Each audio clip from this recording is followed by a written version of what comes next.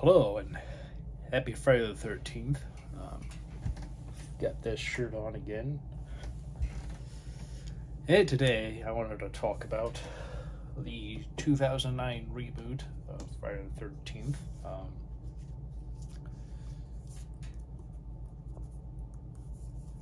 uh, obviously, this was the Shout Factory version,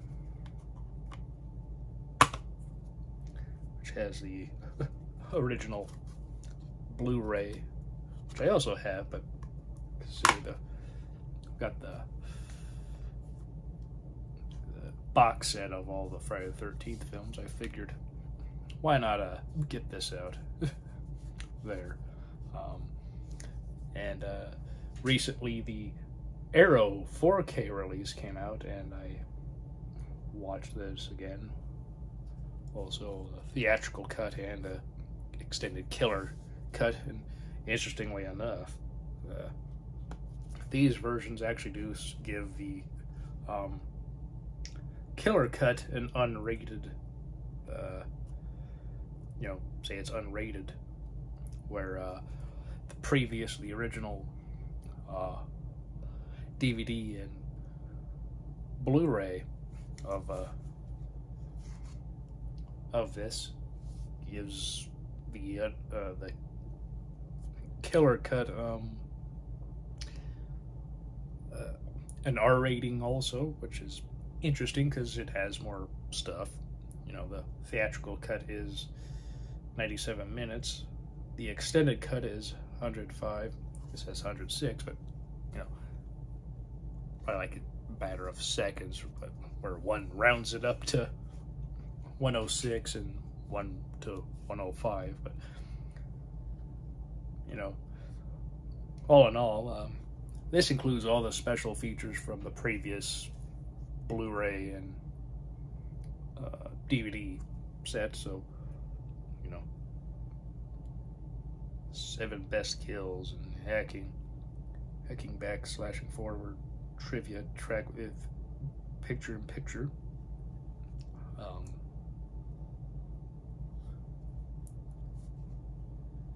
yeah, this uh, one has excerpts from the trivia track, so I didn't actually watch that, but uh, this one has a pretty good uh, amount of new stuff too, which is nice. Obviously, this is a, a 4K Blu-ray, so there's no normal Blu-ray disc, but uh, very good uh, transfer 4K. Uh, both versions look excellent. Um, and um, yeah.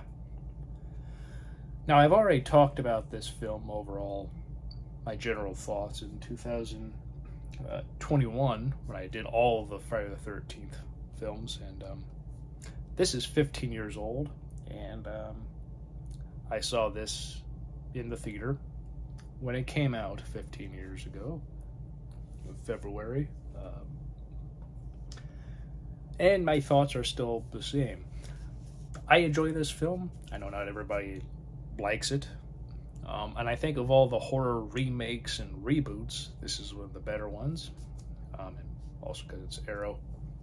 Not only is this the original normal cover, but it does come with this, which is the same as that, but this has a little slip cover, hence why I changed it. Um, but I can also change the Shout Factory one real quick. Take this out. I can have also the uh,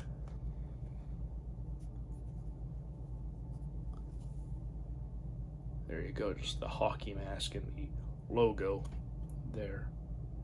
And uh, and I, I keep it like this because, well, I mean, that's all cool, you know, on the back. Um, there is Jason standing there the, by the lake looking with the woman in the water. Um, but I don't know, I like this image of Jason on the back. And I also just have always liked this.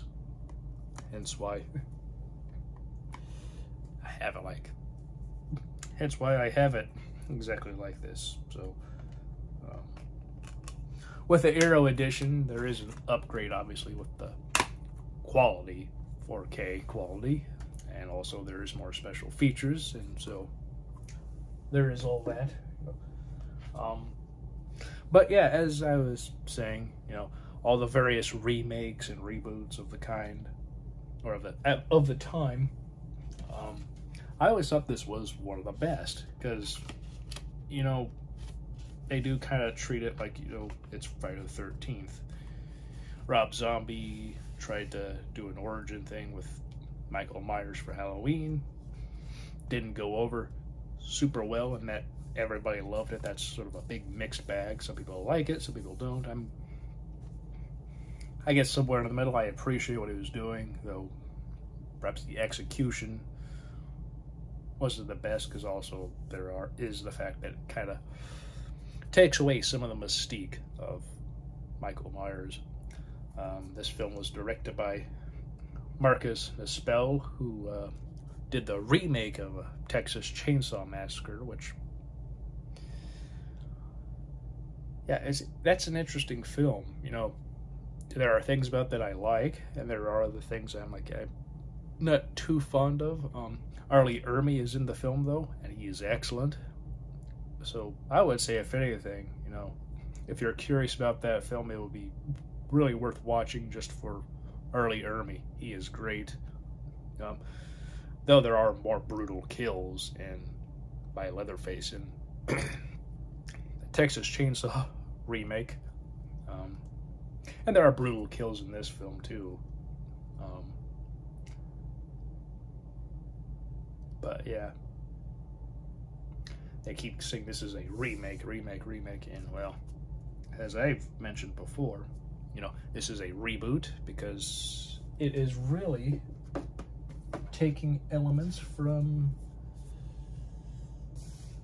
the first four Friday the 13th films. You know, we see Jason in his uh, uh, sack for a while, and then he gets his hockey mask.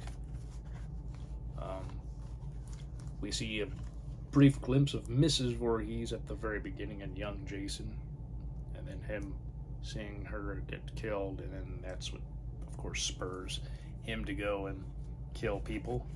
And then there is a sibling looking for, like, there's a brother looking for his sister.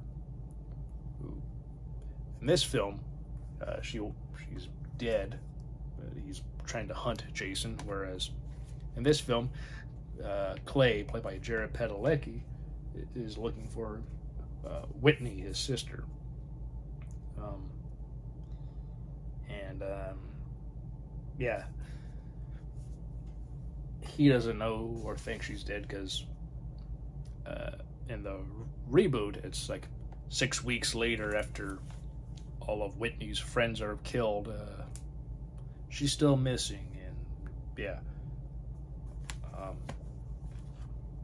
so there is that aspect of a uh, sibling, you know, out and about on Crystal at Crystal Lake, while uh, in a way, you know, looking around. Um, though, of course, in this film, uh, Rob, you know, he's like, you know, Sandra's dead. But, uh, and it's interesting, these three films all take place within a matter of days, but you know, also at the same time, it seems like it's sort of seems a bit longer just because of how you know these films 1980 1981 1982 1984 um, so yeah it's interesting how there are similarities and also on the back here you know Jason does come through the window and grabs Clay, and he has to, you know, fight him off of him. And uh, yeah, so there are various moments that echo these four films. Um, by so many, these are the best films of the franchise, the first four. Um, I definitely think that. I mean, obviously, I've given my thoughts on all of them. But, you know, I just wanted to come back and talk about this It's an interest. It's a very good film. I enjoyed. I think it's excellent. Um, of course, not everybody thinks that. Everybody's different. And also, not everybody likes horror films. So if you're one of those who is not fond of horror films, you're probably not ever going to really want to watch any of these, let alone all 12. This is the 12th one. Freddy vs. Jason was the uh, crossover, so that'd be Friday the 13th, 11. Of course, Jason X was when they went to space. And, you know, Jason Goes to Hell, the final Friday, which was an interesting thing to call the ninth film, considering New Line just bought the franchise, and so they're going to just immediately kill him off. That's a weird decision, but obviously Jason comes back somehow, and that was interesting. Um, um, the Paramount films, they always tried to have a continuity, which I think is appreciative. I like that. You know, franchises that go on for like eight films don't always do that. You know, obviously, as a reboot, um, all those, you know, in this world didn't happen. You know, they kind of, I mean, in a way they do, but with this film, they we don't get to see Mrs. Voorhees being the main killer. So that's another thing that kind of debunks the whole remake thing. If it's a Friday the 13th remake, she has to be the killer, and Jason is only a kid who we see in little flashbacks of him drowning. Um, and if there was a sequel, it would have been drowning. You know, quotes around that. But yeah, this is a fine film, I think. Um, again, if you're not a horror fan, you probably won't enjoy this. Then again, if you are a horror fan and like Friday the 13th, there are people who aren't fond of this. And that's okay. And I think also, especially with all the various remakes and reboots, kind of unnecessary, which I will agree with. But again, this one, they kind of seem to understand and know, you know, this this franchise is you know, uh, teens go to Camp Crystal Lake. They're getting high, they're getting drunk, uh, having sex. Jason lives there. Jason's gonna find them, and he's going to kill them. And that's what people really want. And, well, this film does do that, though some people are like, Jason shouldn't run, even though in these he actually does run a good uh, deal, though perhaps in in uh, well, perhaps in some of these three he runs. Some he might run more, some he might run less, but I don't know. It's an interesting thing. Some people are like he should never run, and if he runs, oh, that awful, horrible way to portray Jason. Just full on horrendous. Um, Derek Mears, who plays Jason in this, is excellent. Does a great job. Um, Ted White in part four is still my favorite, but I like Derek Mears. And quite honestly, all the guys who've been Jason have all done a very good job. I wouldn't say any there was any that was full on bad. Um, you know, I know uh, uh, Steve Dash, Dashkowitz, um, in part two did most of the stunts, but Warrington Gillette got the credit, and he comes in at the end, popping out for the big shock and scare, which was his really main contribution. But you know that was really his uh, time to shine, and um, I've not really seen a whole lot of what else Warrington Gillette has done, but overall, uh, so while I don't have anything necessarily outright against him and his body of work, I am not being overtly honest in that he was there for a bit and wasn't the main guy. That's something that's quite unfortunate that he never did, uh, has never really said. And of course, Steve Dash is now passed on, same as Ted White. Um, and uh, this film was not a huge success. Um, wasn't a full on failure, but it wasn't one like, you know, this was a New Line Cinema and Paramount Pictures uh, film, both studios came together and, you know, um, helped produce this film, which was quite nice. You know, it's like finally 50%, they, they could both have 50% basically, you know, because Friday the 13th, the name is owned by Paramount and, um, you know, New Line owned Jason and Crystal Lake and all that stuff, but the name was with Paramount. They wanted a new one, and so they had to come together and help produce this film together. So that's nice, you know. At least like splitting the profits is a pretty good thing, though. Of course, you know there's distribution. So one handled uh, like I think America primarily, and the other handled international distribution. Um,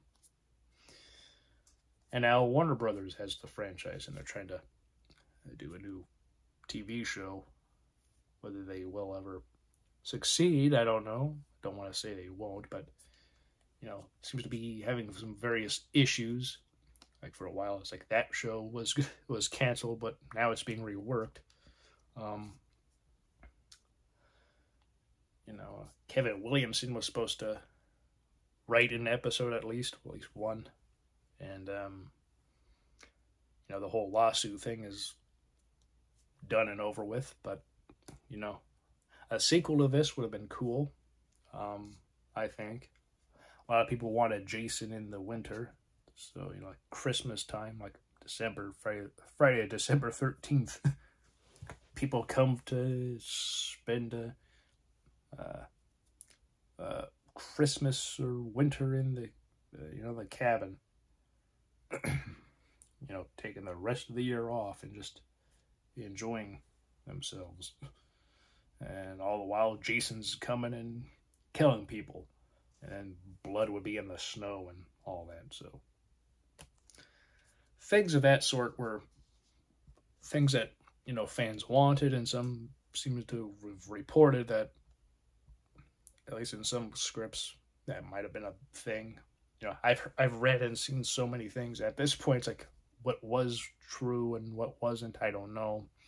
By various versions of a sequel uh, to this, but yeah. Um, and in the end, we don't know what exactly happens to the two characters left. Are they alive? Are they dead? we don't know because well again no sequel happened and it just kind of like a jump scare but you know there's a sequel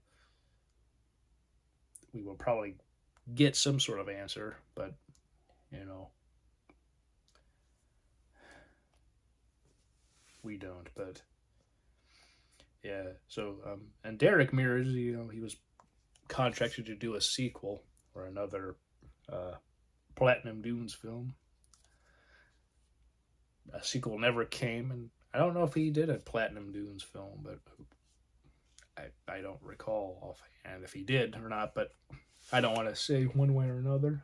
Um, and of course, like Arrow does, you get cool stuff in here. Um, and this I thought was really cool. Um, greetings from Crystal Lake, little postcard, but and on the back says not for not for sale, promotion for promotional use only. So I guess he it's not necessarily recommended you send this, but uh, I mean I wouldn't anyway. But that'd be something if people uh, did, and then all of a sudden you get some card from somebody you know, and an advertisement for ArrowPlayer.com, you know stream killer cult films. And then there's a new Fist of Fury with Jackie Chan, spelled with a Y.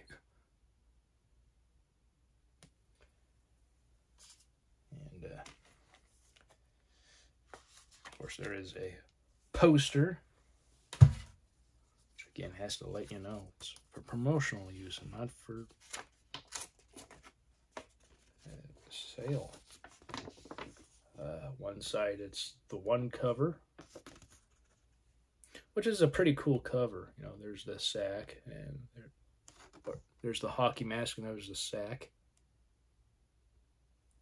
Um, course, there's the main poster. June 13th, boy drowned. Mother decapitated by camp counselor.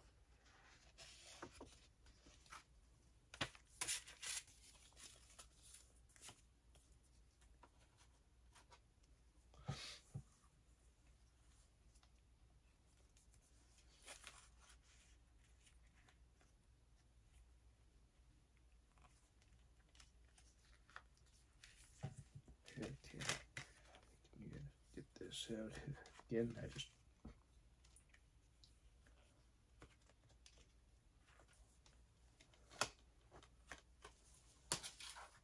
So while this doesn't necessarily have an overall, you know, multiple uh, uh, little cards, essentially, you get this and then also uh, little book, which has some stuff about, you know, cast and crew, as well as a tribute to the blood-soaked legacy of Jason Voorhees, little essays and stuff, and uh, uh, another essay, Welcome to Crystal Lake, the topography of American Terror and Friday the 13th, and then stuff about the restoration.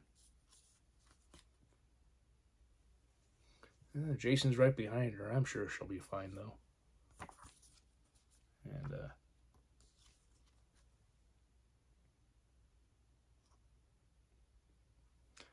and so, yeah. Boy drowns Yeah, on this day, June 13th, 1980, Crystal Lake Memorial pages, summer 2009.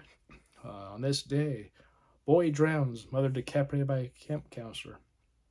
Missing, have you seen Whitney Miller? If you have any information, call Clay Miller or police. Camp Crystal Lake is closed. No plans to reopen cursed grounds. Cabins unsafe for exploring. Police chief says, stay out. Well, Crystal Lake Police. Uh, CL Police Department, Bolton. Maze of, maze of tunnels not made by hikers. Cops can't forbid or can't find crops. Authorities skunked on who's been uh, who's behind grow operation. Urban legends. Jason Voorhees. Campfire tales based on local murder murders. And there you go. And there's pot leaves because somebody's people are growing uh, those kind of crops. Um, so I get this, and you know, other Arrow releases, you know, they have stuff like that, but also, you know, books. Also, if it comes in a, you can slide in and out right quick. But yeah, overall, I'm quite happy with this release. Very excellent transfers. Uh, movie looks and obviously sounds great. Um, and um, and I still like it. You know, again, not everybody's cup of tea. You know, but you know, when it comes to a, a remake, a reboot with horror, as so many horror franchises were remade or rebooted in one way or another. Friday the 13th, the people who made this seem to understand and know what the franchise was from the get-go. And of course, that's the discs. Disc 1 is the theatrical cut, and then disc 2, the killer cut. So, yeah. Um, very good film. I, uh, yeah, didn't really want to go over the synopsis of the film as I did before, but still, I, I find it's a fine movie.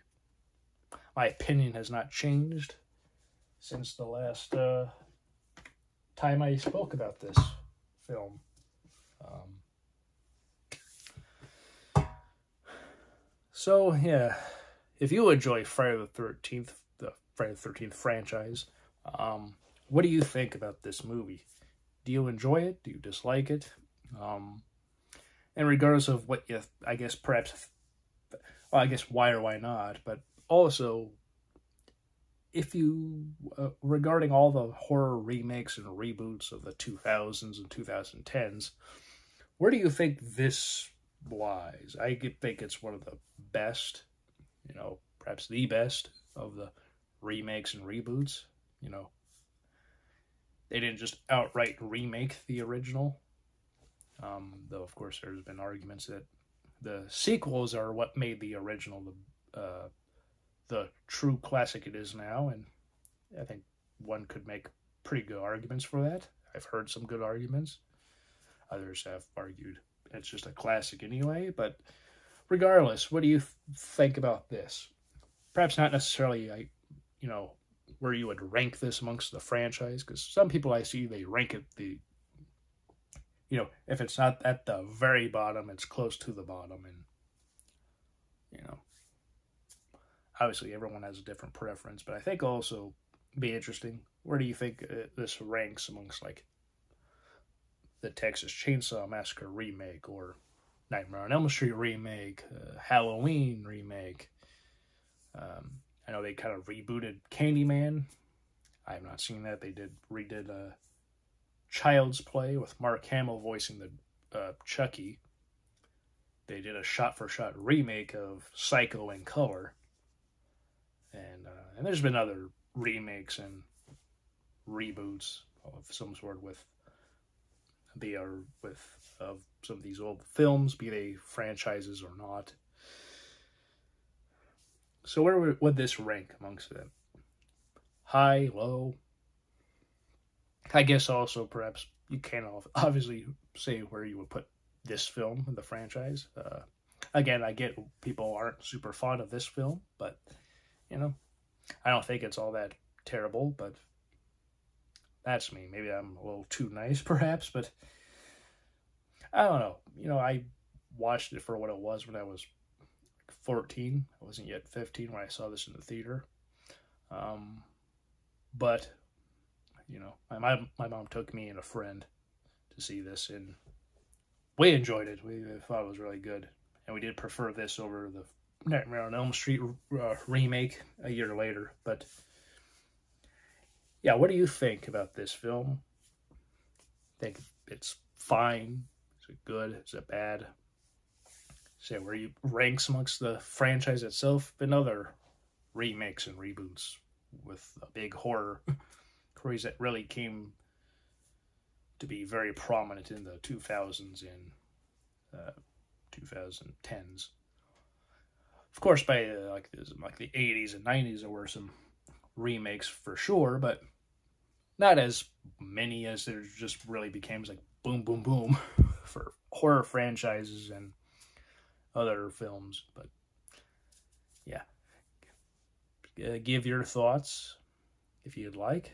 Um, and yeah, don't really have much to say, so I'll uh, cut it off here before we hit exactly 30 minutes. So.